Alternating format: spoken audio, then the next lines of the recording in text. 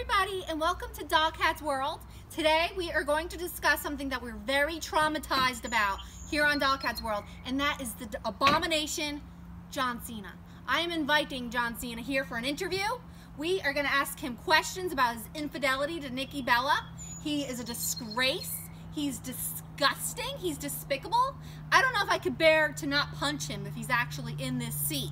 You know, I might have to do so for Nikki Bella, but he's disgusting. We all know he cheated with Carmella. As soon as they break up, he's in another relationship. No, I believe the rumors are true.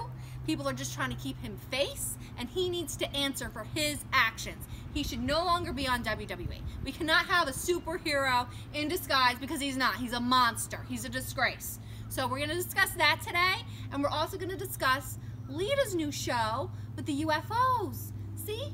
See, Grim, I'm not crazy. Another female wrestler is into UFOs. So we're going to see her show. We're going to take a look at it. And no, I'm not mad that she copied my show idea about UFOs. But you'll hear it first here on Dollkat News before you hear it on Lita's show.